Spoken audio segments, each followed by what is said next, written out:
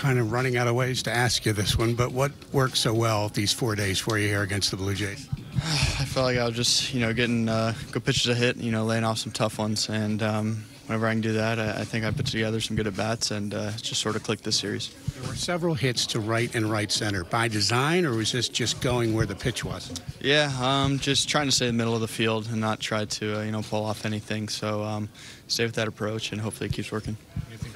In July with, with the vertigo to where you are now, how confident are you at the plate? Yeah, yeah, it's uh, easier when you're just seeing one baseball instead of three at the plate. So, um, no, I feel a lot better and uh, you know healthy, and it's a blessing.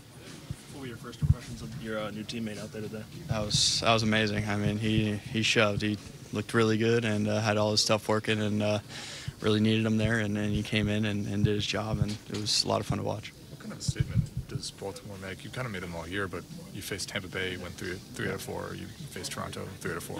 What, what's that kind of mean for this group? Yeah, I think uh, you know all the teams know we're here and uh, know that you know we're we're here to play and we're here for the long run. So I just uh, try to keep it rolling going into the Mets, and um, we're playing some good ball right now.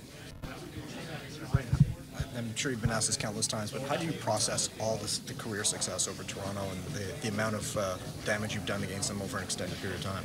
I don't know, just maybe just lines up with when I'm hitting well or whatnot. I don't know, but um, got, they got a good staff over there, and uh, I just laid off some good pitches and got the good ones to hit. Do you get any good chirps from the other side on the field in terms of like you stop killing us and yeah, yeah. There's whenever they get the first, they would try to I don't know, touch my jersey and rub it off on them. So, uh, yeah, I don't know. that's, that's about it.